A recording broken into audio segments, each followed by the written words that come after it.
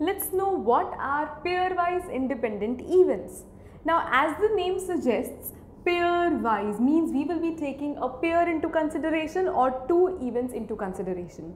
So if you have A1, A2, A3 up till AN different events associated with a random experiment, then pairwise independent events can fall into this definition which says P of AI intersection AJ is equal to P of AI multiplied by P of AJ. That means the intersections probability is equal to the product of individual probability such that these I and J subscripts which we have used should not be equal and they may belong to any natural number. So, if you have P of A1 here then it cannot be here also A1 the first and the second event should be different. So if you are talking about A1 in the first place then J can take the value of 2 or 3 and so on up till N.